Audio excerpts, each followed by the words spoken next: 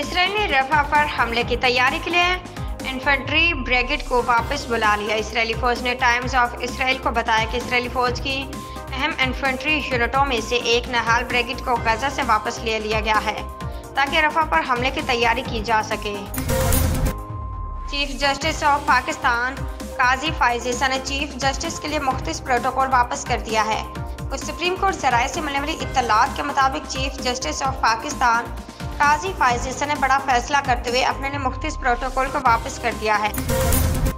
اسلام آباد وزیر اعظم شہباز شریف اور اسحاق ڈار نے مسلم لیگ نون کے رہنما رانا ثناء اللہ اور خواجہ سعد رفیع کو بڑی پیشکش کی ہے۔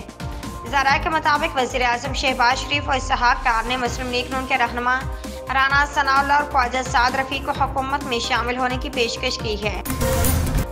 اسلام آباد، پاکستان، امریکی محکمہ خارجہ کے انسانی حقوق سے متعلق رپورٹ مسترد کر دی۔ ترجمان دفتر خارجہ ممتاز زہرا بلوچ کا کہنا ہے کہ امریکی محکمہ خارجہ کی رپورٹ کے مندرجات غیر منصفانہ غلط معلومات پر مبنی اور زمینی حقائق سے ہٹ کر